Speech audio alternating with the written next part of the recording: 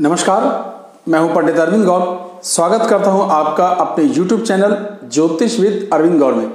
आज की चर्चा का विषय है, गुरु का 13 सितंबर को मार्गी होना। ये 67 डेज़ सतादस दिनों के लिए मार्गी हो रहे हैं। और इसके बाद ये अपनी राशि बदल के मकर राशि में चले जाएँगे, जो इनकी नीच राशि है। तो वो बात की बात है। अभी का प्रभाव यह है कि वक्री चल रहे थे बहुत समय से और तेरह तारीख को ये मार्गी जब होंगे तो इसका क्या प्रभाव देखने में आएगा और उससे क्या फ़ायदे आपको होते हुए दिखाई देंगे, इसी विषय में वीडियो है। मुझे उम्मीद है आपने मेरा इससे पहले वाला एपिसोड देखा होगा, जिसमें मैंने ये समझाने का प्रयास किया है कि आप अपनी जन्म कुंडली में बृहस्पति कैसा परफॉर्म कर सकता है। इनिशियली जन्म के समय आपके बृहस्पति की सिचुएशन कैसी है, आपकी जन्म कुंडली में, इस विषय में वीडियो बनाया मुझे उम्मीद है आपने वो देखा होगा और आपको समझ आया होगा। तो होता यह है कि हम लोग गोचर पर जब बात करते हैं एक्चुअली उसे देखा जाना चाहिए था जन्म कुंडली के हिसाब से। अब जन्म कुंडली में कैसा है, अगर आपकी समझ में ये बात नहीं आएगी तो गोचर के इस वीडियो का वास्तविक महत्व कम हो जाता है। तो उस वीडियो को अगर नहीं देखा है तो उसका नंबर है एक सौ इक्यावन, उसे ज़रूर देखिए। फिर इस वीडियो को देखने का आपको ज़्यादा मज़ा आएगा। या आप इसका आनंद ले पाएँगे। तो शुरू करते एक एक करके। 67 डेज़ के लिए चेंज आ रहा है 13 सितंबर से। उसके बाद ये अपनी राशि बदलेंगे और हर एक राशि पर इसका क्या इफ़ेक्ट है, ये मैं आपको बताने की कोशिश करूँगा। पाँच ग्रहों के कारक होते हैं और तीन इनकी मुख्य दृष्टियाँ हैं, पांचवी, सातवीं और नौवीं। कोई भी ग्रह असर कैसे करता है, वो जहाँ बैठता है, वहाँ उसकी सिचुएशन कैसी है कहाँ कहाँ देख रहा है, कौन ग्रह उसके साथ बैठे हैं उनको किन ग्रहों की दृष्टि मिल रही है, वो किन किन ग्रहों को देख रहा है? ये एक तरीका है बात को करने का। लेकिन क्योंकि गोचर में हम सिर्फ़ एक स्टार के ऊपर बात करते हैं और वो सिर्फ़ फाइनल इसलिए मत लेके चलिए क्योंकि वो केवल एक ग्रह से चेंज जो हो सकते हैं वो बताए जा रहे हैं। बाकी के आठ ग्रह भी हैं, उनका भी प्रभाव होता है, अपनी जन्म कुंडली है और डिटेल्ड कुंडलियाँ होती हैं जो हम पार्शल कुंडलियाँ भी कहते हैं। तो उन सबका मिला जुला दशा, अंतरदशा प्रत्यंतम उन सबका असर होता है। इसलिए ऐसा न सोचें कि अगर बहुत अच्छा बताया जा रहा है तो कमाल हो जाएगा और खराब बताया जा रहा है तो खराब। ये सच नहीं है। गोचर सब पर होने वाला एक जैसा प्रभाव है, पर आपकी जन्म कुंडली के हिसाब से उसका प्रभाव पर्सन टू पर्सन वेरी करता जाएगा। इसीलिए आपको अपनी जन्म कुंडली में ग्रह की सिचुएशन को समझना ज़रूरी है। और यही विषय मैंने एक सौ इक्यावन नंबर वीडियो जो इससे पहले अप, मैंने अपलोड किया है आप उसमें देखेंगे मैंने बताया है। तो मेष लगन से शुरू करते हैं और ये सारी बातचीत मैं लगन के हिसाब से करता हूँ। आप चाहें तो राशि से भी देख सकते हैं पर मेरा अनुभव कहता है कि लगन से ही देखा जाना ज़्यादा सटीक है ज़्यादा सही है। ये मेरा विचार है मैं कोई जिद और बहस नहीं कर रहा हूँ आप चाहें तो राशि से भी देख सकते हैं। तो मेष लगन की स्थिति है कि भाग्य के स्थान पर गुरु स्वग्रही होकर के बैठेंगे। भाग्य के स्थान से उनकी पूर्ण दृष्टि लगन पर पड़ेगी, तीसरे घर पर पड़ेगी और पाँचवें घर पर पड़ेगी। इसका प्रभाव क्या क्या देखने में आएगा?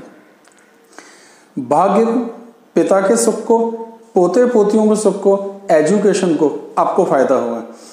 पेट से संबंधित तकलीफें घटेंगी, खर्चे थोड़े कंट्रोल में आएँगे, भागदौड़ पॉजिटिव होगी। मतलब उस भागदौड़ का, उन यात्राओं का आपको रिज़ल्ट निकलता हुआ दिखाई देगा, आपको फ़ायदा होता हुआ दिखाई देगा। ये चीज़।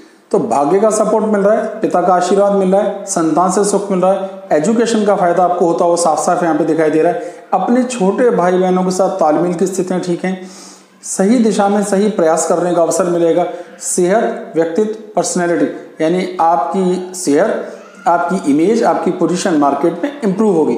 इसका भी आपको फ़ायदा देखने में आएगा। तो हर तरीके से ये बड़ा फ़ायदेमंद आपके लिए साबित होने वाला है। कोई भी इसमें नुकसान बिल्कुल नहीं दिखाई देता तो पूरी उम्मीद है कि मेष लगन वालों के लिए गोचर का ये चेंज बहुत ही फ्रूटफुल होगा। अब, अगर जन्म के समय से आपकी कुंडली में बृहस्पति की स्थिति मज़बूत नहीं है, तब फल थोड़ा कम अच्छा प्राप्त होगा। और अगर जन्म के समय आपकी कुंडली में अच्छी स्थिति है, आप उसे निकाल पाए कि हाँ बढ़िया है मेरा बृहस्पति जन्म के समय तो ये प्रभाव सॉरी बहुत ही अच्छा आपको देखने में आएगा, इसका आनंद आपको प्राप्त होगा तो इसका लाभ साफ़ साफ़ आपको दिखाई देगा। किसी तरह के उपाय की आवश्यकता नहीं है, क्योंकि ये पोजीशंस बहुत अच्छी हैं, इसमें किसी तरह की समस्या नहीं आएगी। वृषभ लगन की बात करते हैं। वृषभ लगन में आठवें घर में स्वग्रही होकर के आएँगे, ये भी अपने आप में एक योग है, पर इसका अर्थ होता है सेविंग्स इंप्रूव होंगी उम्र को फ़ायदा होगा, जमा पूंजी जो है कुछ बढ़ेगी, कुछ ऐसे रीति से भी पैसा आ सकता है, जिसे हम कहते हैं गुप्त धन। अभी देखिए, गुप्त धन और गड़ा हुआ धन मिलना एक शब्द है केवल। इसका अर्थ यह है कि ऐसी कोई रुकी हुई पेमेंट ऐसी कोई मरी हुई पेमेंट जिसकी उम्मीद नहीं थी मिल जाए, ऐसा कोई किसी को उधार दिया हुआ था जो आपको रिटर्न हो गया, या एकाएक ऐसी जगह से आपको जहाँ उम्मीद नहीं थी आपको कुछ ऑर्डर्स मिल जाएँ, इन्हीं को आप रुका हुआ धन या गुप्त धन या गड़ा हुआ धन मान के चलिए। यात्राओं का लाभ होगा, समुद्र की यात्राओं को देखने में लाभ आएगा आमदनी हर हालत में बढ़ेगी, उसका लाभ होगा, खर्चे भी थोड़े से बढ़ेंगे। आमदनी हो और थोड़े बहुत खर्चे भी बढ़ जाएँ तो तकलीफ़ नहीं। आपको अपने पैतृक संपदा का भी सुख प्राप्त होगा, अपने कुटुंब के साथ तालमेल की स्थितियाँ, बोली भाषा का इंप्रूवमेंट भी आपको दिखाई देगा तो आप इसमें भी सुख का अनुभव करेंगे। इसके साथ साथ सुखों की बात करते हैं। माँ के साथ मकान के साथ, वाहन के साथ, विदेश यात्राएँ हायर एजुकेशन इस मुद्दे पर भी आपको सुख प्राप्त होगा। तो ये बहुत अच्छी स्थिति है। तरीका यह है कि गोचर में जब कोई ग्रह चौथे, आठवें, बारहवें घर में जाता है तो उसकी शुभता थोड़ी कम मानी जाती है। मतलब उतना शुभ फल नहीं देता जितना शुभ फल के हम उससे उम्मीद करते हैं। इसका अर्थ ये हुआ कि अगर जन्म कुंडली में आपका बृहस्पति बहुत अच्छा नहीं है तो यहाँ पर भी इस गोचर का लाभ आपको उतना मिलता वो बिल्कुल नहीं दिखेगा। लेकिन जन्म कुंडली में बृहस्पति अच्छा है तो ये गोचर आपके लिए बहुत फ़ायदेमंद साबित होगा, आपको बड़ा अच्छा लगेगा। किसी उपाय की यहाँ ज़रूरत नहीं है यहाँ सब कुछ ठीक है। फिर भी अगर आप सेफ्टी से चाहें तो बृहस्पतिवार वाले दिन पीली और मीठी चीज़, जैसे बेसन के लड्डू का भोग, ईश्वर को लगा करके प्रसाद के रूप में बांटिए, इतना ही करना आपके लिए काफ़ी होगा। अब बात करते हैं मिथुन की। मिथुन लगन के लिए एक सुंदर राजयोग का निर्माण हो रहा है, जिसका नाम है हंस महायोग। बहुत अच्छी स्थिति है। ये राजयोग चौथे घर से बन रहा है, वैवाहिक जीवन के सुखों को इम्प्रूव करने के लिए। वो बच्चे जो इस वक्त विवाह की उम्र के हैं और विवाह के लिए प्रयासरत हैं, उनके रिज़ल्ट आने की ज़बरदस्त उम्मीद है। वो बच्चे जो अपने स्टेटस के लिए, अपने प्रमोशन के लिए कुछ वेट कर रहे हैं, उनके रिज़ल्ट आने की ज़बरदस्त उम्मीद है। जो अपनी इनकम को फर्दर इम्प्रूव करने के लिए बहुत भागदौड़ कर रहे हैं, उनके रिज़ल्ट आएँगे। अब अगर ऐसी स्थिति ले लो जिनमें पहले से ही थोड़ा सा खिंच खिंच चल रही है, यानी वैवाहिक जीवन थोड़ा तनावपूर्ण है तो उनका वैवाहिक जीवन संभलेगा, उसमें अपनापन, प्यार बढ़ेगा। तो ये भी तो एक फ़ायदा हुआ। तो हमें ये चीज़ें भी समझनी है कि हमें ऑन दी होल जो लाभ है वो दो तरीके से मिलता है, बिगड़ा हुआ काम संभले और संभला हुआ काम और इम्प्रूव हो। तो ये चीज़ें होंगी सेहत, व्यक्तित्व पर्सनैलिटी वैवाहिक जीवन में सुधार, ससुराल वालों के साथ सुधार, अपने कर्म, अपने एफर्ट्स अपने छोटे भाई बहनों के साथ आपके तालमेल की स्थितियाँ, ये सभी कुछ इम्प्रूव होता हो साफ़ साफ़ दिखाई देगा। सुख की प्राप्ति होगी एक बहुत बड़ा राजयोग, जो मैंने अभी बताया, हंस महायोग, वो बन रहा है। उसका भी सुख प्राप्त यहाँ पे होगा। कर्क लगन की बात करते हैं तो कर्क लगन के लिए छठे घर में सौग्रही होकर के आएगा। ठीक है? कोई भी ग्रह अगर सौग्रही होता है तो वो भी कहीं भी बैठेगा, नुकसान नहीं देता। भाग्य का स्वामी है और भाग्य से दशम भाव में बैठता है। तो भाग्य की स्थिति, पिता के सुख की स्थिति, दैवीय स्थितियाँ, ईश्वर के प्रति मोह, ये सब भी देखने में आएगा। तो इसका भी आपको सुख प्राप्त होता हुआ दिखाई देगा। इसके साथ एक और विशेष बात यह है कि इसका इम्पैक्ट दशम भाव पर आएगा, जो हमारे जीवन स्तर को, सेहत को, व्यक्तित्व को भी इम्प्रूव करेगा। तो हमारा सरकारी कुछ काम बनने गवर्नमेंट से मिलने वाले कुछ फ़ायदे, वो भी इम्प्रूव होते हुए साफ़ साफ़ यहाँ पे दिखाई दे सकते हैं। खर्चे थोड़े से बढ़ेंगे, इसमें कोई डाउट नहीं है। आपके पितरों के साथ, पित्र गलत शब्द है, आपके बुज़ुर्गों के साथ, आपके कुटुंबजनों के साथ, आपके जो बुज़ुर्ग हैं, जिनका आशीर्वाद आपको लेना है तो पिता के साथ, ये स्थितियाँ भी थोड़ी सी इंप्रूव होंगी। तो कई तरीके का फ़ायदा यहाँ पे मिलता हुआ दिखाई दे रहा है, जिसका लाभ आपको मिलेगा। अब अगर जन्म के समय बृहस्पति अच्छा नहीं है तो आपको भी, यानी कर्क लगन वालों को भी शुभ फल प्राप्त नहीं होंगे। लेकिन जन्म के समय उनका बृहस्पति अच्छा है तो सुफल अवश्य प्राप्त होगा। तो ये चीज़ बहुत ज़रूरी है। ज़रूर पिछला वाला वीडियो ध्यान से देखें। आकलन करें। किसी पर डिपेंड करने की ज़रूरत नहीं है। खुद अपना आकलन करके अपने वीडियो को समझें। अपनी जन्म कुंडली का समझिए, उसका आनंद लीजिए। सिंह लगन की बात करते हैं। सिंह लगन की स्थिति है कि संतान के घर में बैठता है। अब ज्योतिष का एक छोटा सा नियम ये कहता है कि पांचवा घर हमारे विचारों को बिलोंग करता है, हमारी सोच समझ, हमारी कल्पना, हमारे फैसले लेने की सामर्थ्य। अगर वहाँ बृहस्पति बैठेगा तो क्या करेगा? हमारे फैसले लेने की सामर्थ्य शुभ होगी, विचार शुभ होंगे, शुद्ध होंगे। शुभ विचार होंगे, शुद्ध विचार होंगे, शुद्ध प्रयास होंगे। तो रिज़ल्ट बहुत अच्छे आएँगे। भाग्य को इम्प्रूव करेगा, पिता के साथ तालमेल इम्प्रूव होंगे, उसमें कोई दिक्कत नहीं। आमदनी इम्प्रूव होगी, सेहत, व्यक्तित्व, हमारी इमेज हमारी पब्लिक इमेज इम्प्रूव होगी। पढ़ाई, लिखाई, संतान डाइजेशन से संबंधित प्रॉब्लम्स इम्प्रूव होंगी। संतान के सुख बढ़ेंगे, पढ़ाई का सुख बढ़ेगा। इसका जो एक और फ़ायदा देखने में आएगा, वही आएगा कि जमा पूंजी भी इम्प्रूव होती हुई दिखाई देगी। किसी भी तरीके का कोई भी नुकसान होता हो नहीं है। जन्म के समय अगर आपके कुंडली में बृहस्पति ज़्यादा अच्छी हालात में नहीं है तो ये हो सकता है कि आपको उतना शुभ ना मिले। नुकसान तो किसी हालत में नहीं होगा, थोड़ा कम शुभ मिल सकता है, लेकिन अगर जन्म के समय में आपका बृहस्पति अच्छा है तो बहुत शुभ फल आपको प्राप्त होंगे, इस गोचर का आपको आनंद प्राप्त होगा।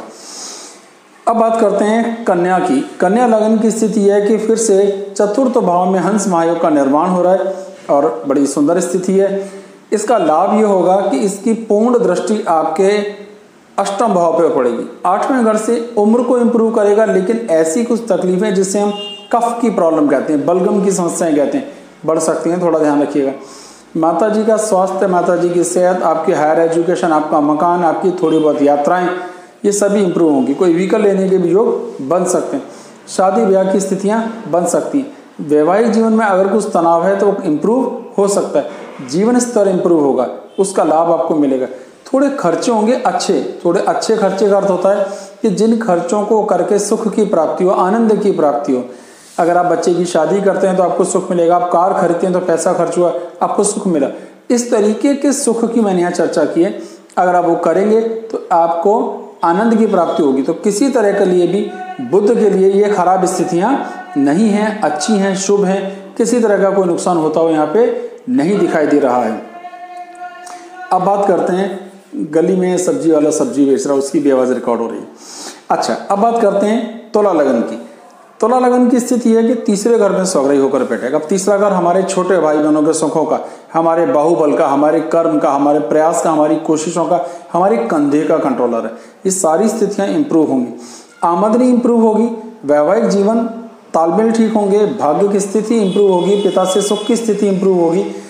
वैवाहिक जीवन में अगर कोई किसी का तनाव या क्लेश चल रहा था तो वो भी इंप्रूव होगा। अब अगर जन्म के समय से आपका बृहस्पति खराब है, तब भी आपको अच्छा फल मिलेगा। अच्छा है तो बहुत अच्छा फल यहाँ पे प्राप्त होगा। तुला लगन में एक और खास बात है कि बृहस्पति की ट्यूनिंग ज़्यादा अच्छी आती नहीं है, क्योंकि वो बुरे घरों का स्वामी है। एक तीसरे का और एक छठे घर का। इसलिए बहुत ज़्यादा शुभ फल की उम्मीद ना रखना, लेकिन बुरा कुछ नहीं होगा, ये एकदम कन्फर्म है।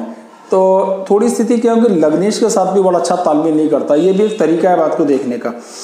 लेकिन ऑन दी होल ठीक है, ज़्यादा फ़िक्र की बात नहीं है, पर बहुत अच्छे उम्मीदें मत बांधिएगा, बुरा नहीं है, पर बहुत शानदार नहीं है। आपको अपने प्रयासों पर ध्यान रखने की ज़रूरत पड़ेगी, कर्म ठीक रहे एफर्ट्स ठीक रहे तो रिज़ल्ट ज़रूर आएँगे।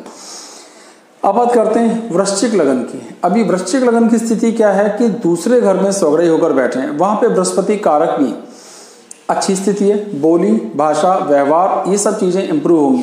लेकिन कफ की समस्या, गले की कोई समस्या देखने में आएगी। कमर दर्द की भी थोड़ी बहुत समस्या देखने में आ सकती है। ये भी बृहस्पति का एक कमाल है। स्टेटस इंप्रूव होगा। इसमें कोई शक नहीं सेविंग्स भी बढ़ेंगी। शत्रुओं पर कंट्रोल बढ़ेगा, कर्जे का कंट्रोल बढ़ेगा। मतलब कर्जा आप कंट्रोल कर पाएँगे, बीमारियाँ आपकी थोड़ी कंट्रोल होंगी, शत्रु आपके कंट्रोल में आएँगे। खर्चे थोड़े से इंप्रूव होंगे, यानी जब ज़्यादा खर्च हो रहा है तो थोड़ा लिमिट में आएगा। तो वृश्चिक के लिए इसमें किसी तरह का कोई नुकसान होता हुआ नहीं दिखाई दे रहा। ले देखिए एक थोड़ी सी तकलीफ़ हो सकती है कि वो आपको कफ की प्रॉब्लम या थोड़ा ओवर फैटी बनाएगा। ये देखने में आ सकता है। तो अपने वज़न को संभालिए, अपनी कोशिशों को संभालिए, अपनी एक्सरसाइज पे ध्यान दीजिए। तो ये स्थितियाँ बिल्कुल ठीक है, इसमें कोई दिक्कत आपको नहीं आने वाली है। धनु की बात करते हैं तो लगन में बृहस्पति का राजयोग बन रहा है। अच्छा है, जितना भी इम्प्रूव कर सकता होगा, करेगा, सुखों को भी इम्प्रूव करेगा स्टेटस को इम्प्रूव करेगा पोजीशन को इम्प्रूव करेगा, भाग्य को, पिता के साथ तालमेल को, वैवाहिक जीवन को इम्प्रूव करेगा। सोच, समझ, फैसला, विचार, इस दौरान जो भी फैसले लिए जाएँगे, उसके फ्रूटफुल रिज़ल्ट एक दिन आपको देखने में मिलेंगे। समय ज़रूर लगता है। कोई भी काम हाथों हाथ रिज़ल्ट नहीं देता है। लेकिन अगर एट लास्ट किसी चीज़ का रिज़ल्ट अच्छा आ जाता तो हम ये कहते हैं, सही मौके पे फैसला लिया, उसका रिज़ल्ट आया। तो आपके केस में गोचर बहुत अच्छी स्थिति में। अब अगर कल्पना करें, बृहस्पति जन्म के समय बहुत अच्छा नहीं है तो भी अच्छा रिज़ल्ट आएगा। अगर बहुत अच्छा है तो फिर तो बहुत अच्छा रिज़ल्ट आएगा ही इसमें कोई डाउट है ही नहीं। तो वैवाहिक जीवन के हिसाब से विचारों के हिसाब से, फैसले लेने के हिसाब से, संतान के हिसाब से, पढ़ाई के हिसाब से, पिता, भाग्य, धर्म, हर मुद्दे पर ये आपको लाभ देगा, नुकसान होने का तो कोई योग बनता ही नहीं है। मकर लगन की बात करें तो मकर लगन की स्थिति है कि बारहवें घर में सो रही है। अब देखो, रूल ये कहता है कि छठ, चौथे में, आठवें और बारहवें, चार आठ बारह में गोचर में जब ग्रह जाते हैं तो उतना शुभ फल नहीं दे पाते जितना वो देते हैं। और दूसरा, यहाँ पर बृहस्पति की पोजीशन भी खराब है, वो तीसरे और छठे घर का स्वामी है। तो ये गोचर मकर वालों के लिए बहुत शुभ नहीं है। अब अगर जन्म के समय से उनकी कुंडली खराब है, उनके कुंडली में बृहस्पति खराब है या कमज़ोर है तो ये प्रभाव थोड़ा और नेगेटिव ही होगा पॉजिटिव नहीं होगा। जन्म के समय बहुत अच्छा है तो ये प्रभाव न्यूट्रल होगा, ज़्यादा नेगेटिव नहीं होगा। यही फ़र्क है, इसीलिए मैंने पहले जो वीडियो बनाया है, इसीलिए बनाया कि आपको अपनी कुंडली में अपने गुरु के आइडिया होना चाहिए कि गुरु की सिचुएशन लमसम क्या है। नहीं तो आनंद कैसे आएगा किसी वीडियो को देखने का? तो मकर वालों के लिए एक एवरेज स्थितियाँ हैं। भगवान की पूजा अर्चना, पीले रंग की चीज़ों का प्रसाद, बृहस्पति देव के मंत्रों के जाप भी किए जा सकते हैं। तो इसमें पीली चीज़ का बड़ा महत्व है। पीले कपड़े भी पहने जा सकते हैं और भगवान जी को आप बेसन के लड्डू का या केले का भोग भी लगा सकते हैं। ये सर्वमान्य चीज़ें हैं, सभी को मालूम है, इसमें कोई ऐसी नई वाली बात नहीं है। कुंभ लगन की अगर हम बात करते हैं तो लगन में आमदनी के घर में, ग्यारहवें घर में बृहस्पति स्वग्रही होकर के बैठेंगे। बहुत बढ़िया स्थिति है। इनकम को इम्प्रूव करने के एक से एक नए रास्ते निकलेंगे। आप राहत महसूस करेंगे। आपके प्रयास, आपके कुटुंबजनों के साथ आपके तालमेल की स्थितियाँ इम्प्रूव होंगी। संतान के साथ तालमेल का योग बनेगा। उनके साथ विचारों में अगर कुछ मतभेद है तो वो ठीक होंगे। इसका भी आपको लाभ देखने में आएगा। प्लस ये भी एक चीज़ देखने में आ सकती है कि आपके फैसले बड़े ठीक हों। आप आज जो फैसला लेंगे, उसका दूरगामी परिणाम शुभ देखने में आएँगे, वो आमदनी बढ़ाने वाले वैवाहिक ज़िंदगी में इंप्रूवमेंट आएगा। आपके प्रयास जेन्यून होंगे, आपके भाइयों के साथ आपके तालमेल ठीक होंगे। तो खराब नाम की तो कोई भी चीज़ नहीं है। तो कुंभ के लिए ये बहुत अच्छा है। अब फिर से एक ही बात जो बार बार कह रहा हूँ, अगर जन्म के समय आपकी कुंडली में बृहस्पति अच्छा है तो बहुत अच्छा फल प्राप्त होगा। अगर जन्म के समय आपका बृहस्पति कमज़ोर है तब ये एवरेज से अच्छा फल फिर भी प्राप्त होगा। तो नुकसान तो किसी हालत में नहीं होगा, लाभ ही लाभ। ये बहुत अच्छी स्थिति है, बहुत शुभ है, आपको इसका आनंद प्राप्त होगा। आखिरी लगन हमारे आ जाती है मीन लगन। अब मीन लगन की स्थिति है कि फिर से एक राज्यों का निर्माण हो रहा है, हंस महायोग दशम भाव में। इस राजयोग के लिए सबसे सुंदर घर यही है, दसवां घर। बेस्ट है, बेहतरीन परफॉर्मेंस आएगी। लेकिन रूल फिर से बता देता हूँ, अगर जन्म के समय कुंडली में खराब है तो एवरेज हो जाएगा। जन्म के समय कुंडली बहुत अच्छी है तो बहुत अच्छे रिज़ल्ट आएँगे। तो ये एक इंपॉर्टेंट चीज़ थी जो जानना ज़रूरी था। इसका असर क्या आएगा? जीवन, सेहत, व्यक्तित्व स्टेटस इस पर ज़बरदस्त प्रभाव आएगा।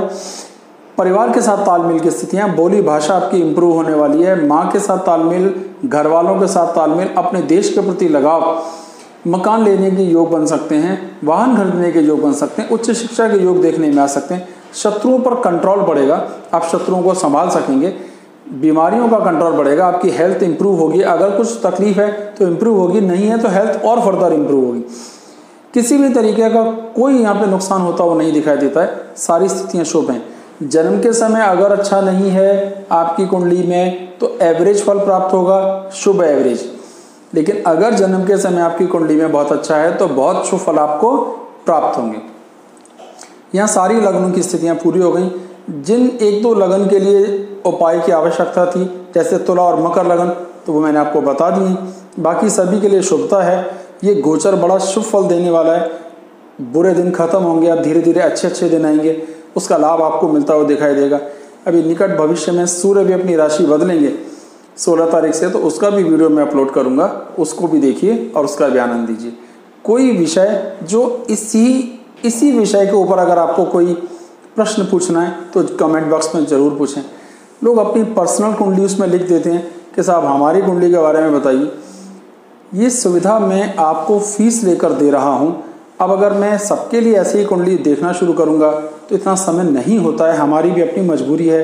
दिल बहुत है सबके लिए करूँ, लेकिन क्या करें? जीवन यापन भी तो करना है। तो सिद्धांत ये है कि बहुत मामूली फ़ीस है।